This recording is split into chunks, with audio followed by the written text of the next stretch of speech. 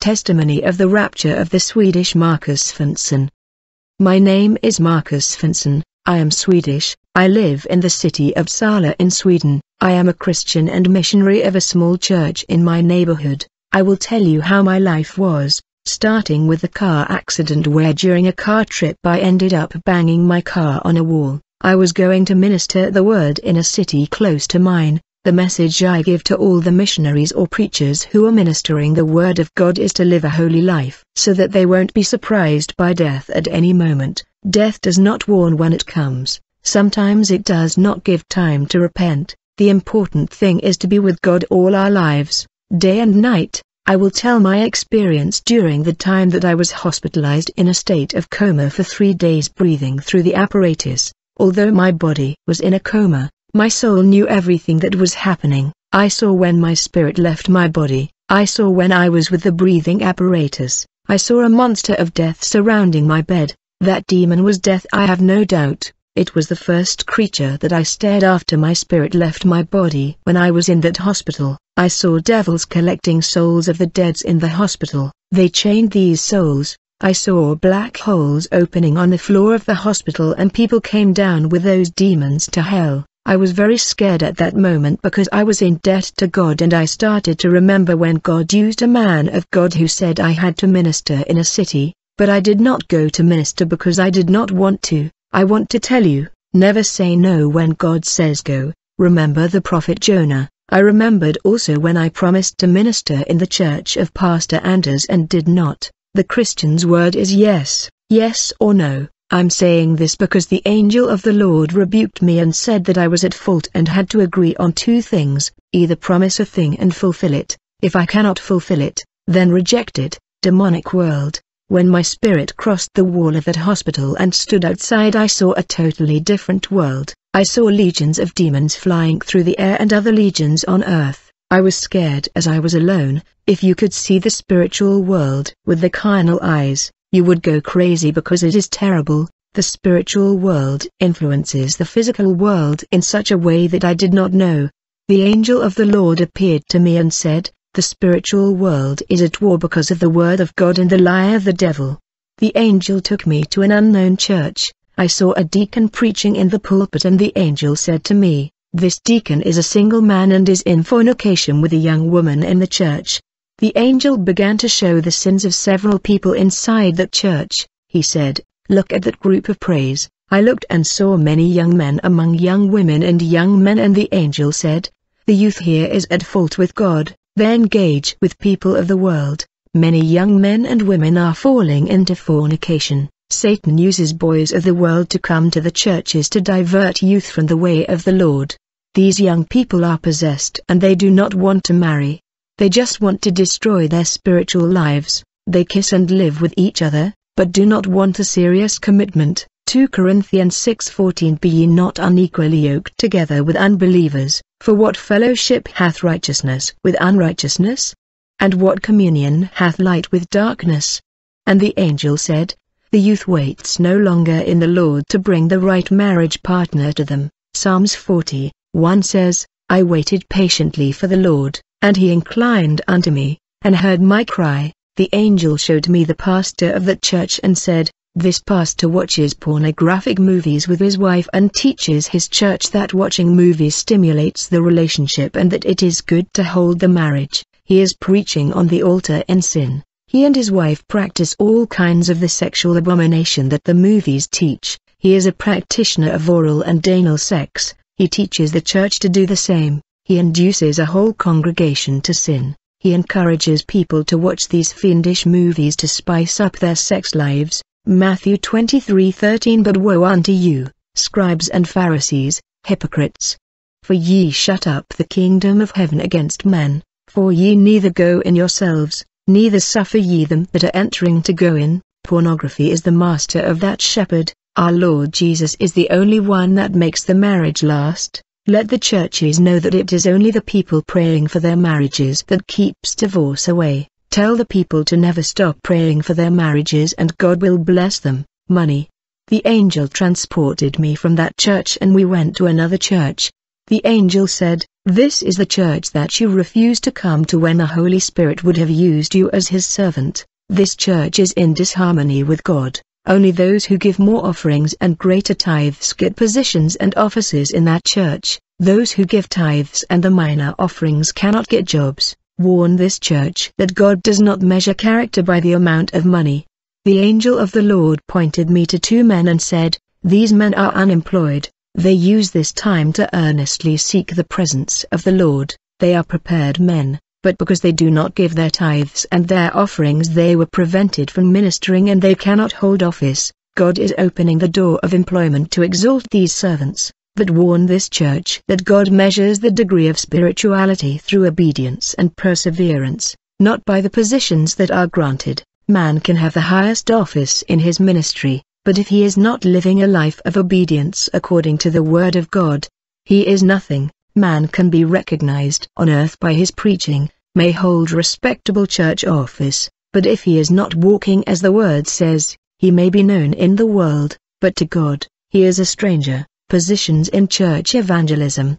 The angel pointed to the pastor and said, He has an exalted position in church but does nothing in the church, he burdens his sheep with heavy loads only knows how to charge fees for pastoral services, but he is not a good example for them.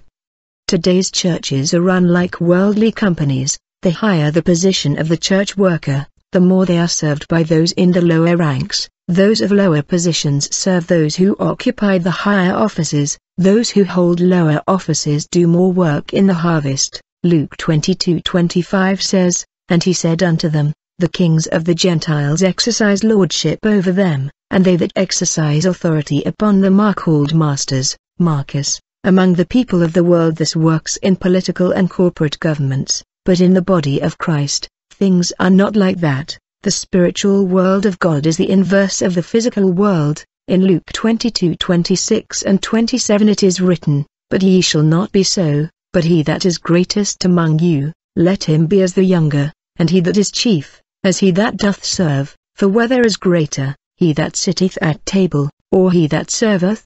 Is not he that sitteth at table? But I am among you as he that serveth. The greater the ministerial position the more he has to work, the more important the person is in his ministry. The more he has to serve than the less important, this will cause him to avoid pride and exaltation. This is the spirit of greatness as found in Philippians 2, 5 9 Let this mind be in you, which was also in Christ Jesus, who, being in the form of God, thought it not robbery to be equal with God, but made himself of no reputation, and took upon him the form of a servant, and was made in the likeness of men, and being found in fashion as a man, he humbled himself, and became obedient unto death, even the death of the cross, wherefore God also hath highly exalted him, and given him a name which is above every name, Jesus emptied himself of his glory to serve the earth and humbled himself in the death of the cross to be exalted today. Warn this church that those exalted by men will be humbled, but those who are humbled by men will be exalted by God. Tell the shepherd of this church to leave its comfort and to work in the harvest. Therefore, the only one that commands is Jesus, he is the head of the body. Then a verse came to my mind, John 10:16, 17 There are other sheep that are not of that fold, but I must lead them also, they will hear my voice, and there will be one flock and one shepherd. My Father loves me, because I give my life to take it back. I realize that pastors also have to go out evangelizing to win souls. Satanic churches Antichrist.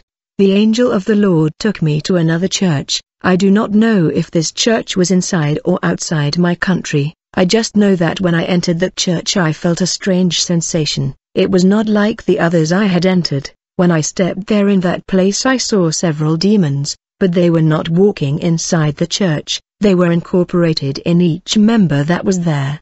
The angel of the Lord allowed me to see devils attached to them inside their bodies. I looked at the shepherd who was on top of that pulpit, I saw his face transfigured in the face of a terrible demon. I said to the angel, No, this cannot be happening. I ministered in several churches and never saw it. What does that mean? Is this a church? The angel said, These are satanic infiltrators, Satanists, and sorcerers who open churches and pass themselves up as shepherds. they are agents of the demons, and I asked, these people cannot see anything? The angel said, these blind people obey their doctrines without questioning, look at their faces, when I looked at them, I saw they had no eyes, there were holes in place of their eyes. The angel said, the spirit of Antichrist of those who are against the precepts of Christ already reign on earth. The purpose of these agents of Satan is to corrupt the other churches with their doctrines, they have goals. They have great knowledge of the word, have great theology and positions, all this benefits them to be called to go preach in any church through their status. The angel said, Marcus if there was a person in this church with eyes open, the Holy Spirit would be in that place, he would use that person to open the eyes of others. When you stepped on that spot, you perceived a strange sensation, that is the absence of the Holy Spirit in that place. I asked the angel, as Satan is bold, he is already placing his soldiers within our ministries. The angel said, Marcus, warn the churches not to get carried away by the fame and status of preachers and their diplomas of positions, warn the church to watch, do not open the doors for strangers to minister, it is better to give the opportunity to the little ones of the same church that the pastor already knows than to give the opportunity to an unknown preacher. The angel said, Look at these people's hands, I looked and saw their hands were chained. The angel said, These people live in blind obedience, but if they know the truth they will come out of the deceit and receive the deliverance of these demons that are in their bodies. Tell the church to ask for the gift of discernment and of the vision, false shepherds. The angel said, Marcus, I have to take you to hell to complete the revelations I have shown you. I said, No angel, it is already fine, I'll say everything that you have shown me is enough already, no help please, do not take me there. The angel said, Fear not man, I know that this fear that comes upon you is because you are in sin. I will not leave you down there, God has great work with you. As I spoke, the angel calmed me down, because my conscience accused me of the sins that I had committed. The angel said, What will be revealed to you are two classes of pastors, those pastors who have pacts with Satan, who are opening up heretic churches to contaminate the others, and the other class of pastors is the ones who will open churches not to save souls, but to fulfill their financial ambitions. Both types of pastors have pacts with Satan. The third class of pastors does not have pacts with the devil but they open churches for trade and merchandising the faith. Their names are already recorded in hell. Fornication. We went down to hell. The first place the angel took me was a place where I saw several young women suffering in hell. They had been seduced by young men of the world and fell into fornication. I saw young men who had left the church because of the worldly women they were involved with. I saw the demons afflicting these souls and saying, It was we who entered these women to overthrow your faith, and with the girls, the demons spoke the same way they had entered the body of those boys to seduce them into hell. I saw girls and boys who had no serious commitment, they were kissing each other, the angel gave me this verse in 1 Corinthians 7, 9 But if they cannot contain, let them marry, for it is better to marry than to burn. Broken promises.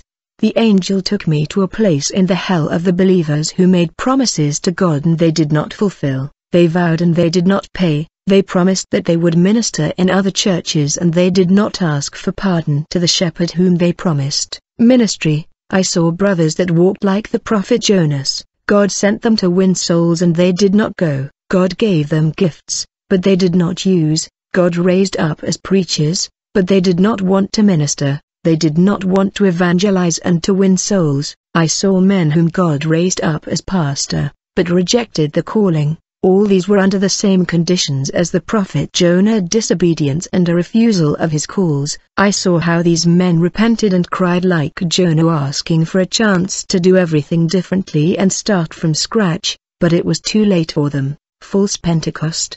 The angel and I went to another place in hell. Arriving there I saw Satan happy with the news of his agents, I saw that the devil was talking about the plan of the agents who had covenants, they were introducing several churches on earth to false gifts, false visions, false prophecies, false revelations etc.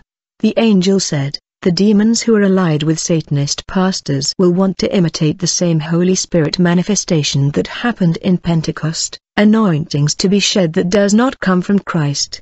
Satan's purpose is to destroy the churches that are still healthy through these churches of these agents. Many people have stopped congregating in the midst of a holy people to congregate with these false shepherds and many souls who begin to go to these churches will be deceived and will go to hell because they do not know the scriptures. The word is that saves and releases. The purpose of Satan is to defile the churches that keep the word of truth and send the greatest number of souls to hell and through the churches of these wizards will be born other churches following the same gospel. Warn the serious churches not to walk in the teachings of these ministries. I looked into the face of the angel and saw sadness and concern. He said, because of these new churches founded by these sorcerers who are pastors, Many holy churches that keep the word of truth will corrupt themselves with this false gospel. Warn the churches that the Holy Spirit will only fill those who live a holy life. Already for those who live a life in sin and seek the Holy Spirit, He will not come as long as they do not repair the altar. Many brothers who have not given up iniquity are deceived by the devil demons are already pouring their anointing and making strange fire fall into the lives of many bewildered brothers and they believe that it is the Holy Spirit and give place to the strange fire entering them. They do not ask for discernment for God to show them the truth. They do not evaluate their lives first to have a notion if they are prepared to receive the Spirit of God. They do not pray and consecrate themselves to God to free themselves from sin, evil and the devil. Warn them that the Spirit of God is clean and pure. First, clean your house and then invite the Holy Spirit to live inside you. Those who do not obey the word walk in disobedience. If a strange fire appears, then it is not the Holy Spirit. First he frees the person, then he cleans him and then anoints and uses him for service. Warn them to repent and consecrate their altars so that the fire of the Holy Spirit will fill them. In the next few years, Many false churches will be founded and incited by Satan to spread a gospel that is not of the kingdom. Pastors interested in money are founding these churches not to save souls, but to promote only for their own self-interests. Money. The angel and I went to another section of hell. I saw when the demons cut off a man's wrist and plucked out his hands. The angel said, This man is here because he sold the gift of the word that the Holy Spirit gave him. He sold what does not belong to him. God gives the gift but does not take money from his servants. He charged in the churches and as he became better known, he increased his asking price for schedules. Those who sell the name of Jesus will pay a high price in hell. Warn the churches to minister for love, without interests. The Holy Spirit will touch the hearts of people to help with offerings. Remember that just as God sent the crows to feed Elijah, he will send people to help his servants. Tell the people not to merchandise the word and praise of God, warn the church to watch, for the number of false shepherds will increase. Gospel music, I looked and saw a devil who praised Satan. He had a stringed instrument in his hands that I had never seen on earth. I realized that he played several rhythms that I had seen on earth. The angel said that the songs that became hits and successes in the world were produced in hell first and when a singer made a pact with Satan that song from hell was given to that singer to succeed. I saw several rhythms in hell as the rock, rap, samba, rap, salsa, forró, and other rhythms. I asked what this meant. The angel answered me, these are the rhythms that praise Satan in hell and on earth. These rhythms are already entering the church, Satan is seeking to destroy the praises of worship. These new rhythms of praise are of Satan. Warn the people of God that these rhythms of praise God do not receive in heaven, for they are not his. Tell the people not to offer any praise. The angel said, the demons inspire the composers of the world to record to the world and are now inspiring evangelical composers who do not have the Holy Spirit. Their hearts are trapped in materialism, I saw in hell several names of record companies of music. The angel said, These recorders you have seen do not record labels for those who sing for the world. These record labels are for the Levites of the house of the Lord. The true evangelical labels are the minority. They do not aim for profit which is unlawful in the house of God. The great evangelical labels compete among themselves to win a larger share of the world market. These market the praise of God and most of their owners have made pacts with Satan in exchange for recognition of their companies. They follow all the coordinates of Satan to corrupt the singers of God. Satan will give his offering to the Levites giving fame, success, and money and many of them will accept his offerings. One day Satan offered fame and success to our Lord, but he overcame. Still today Satan offers to take many Levites to hell and all those who deal with Satan will come to this place. If any Levite wants to record praises, he should do so for God's pleasure and not to be enriched and seek fame. The angel warned me about the unclean praises that did not glorify God but had in their lyrics things that are from the earth and not spiritual. The angel said that there is yet a great singer making praises of provocation to his enemies inciting envy. The angel said that those praises that spread disputes are not from God. The angel showed a vision in hell. I saw a great football stadium on earth full of people worshipping singers who sang praises. That singer finished singing and received a large sum of money. The angel said, There will come a time that many will be made rich with praise. They will not praise God out of love anymore. Tell the Levites not to sell the praise of God by charging high prices in the churches. Do not covet what exalts the name of the Most High God. After the angel showed me that we went up to earth and he gave me to order and I went back to my body. That was the third day that I was hospitalized. I recovered from the accident, the doctor discharged me and I told my experience. Many were scared, but they believed me. After that day I changed all my thoughts. I never rejected an invitation to minister in the churches. Many churches where I went were awakened with this testimony. All the brothers, regardless of the church that you are in. God wants a covenant with you. You are not to come and warm the church pews. You are the light in your congregation. Shine through the darkness, never let them blind your eyes. Have the discernment when you are in the church and you will not fall into the enemy's trap. We are in constant spiritual warfare. There is no time to say that all is well without checking with the word. The demons attack all the ministries of the world. It is time to pray. It is not the time to fight for positions and let Satan win the war. Let us unite in one love and in one faith and together we will conquer. The peace of the Lord Jesus is with all. Amen.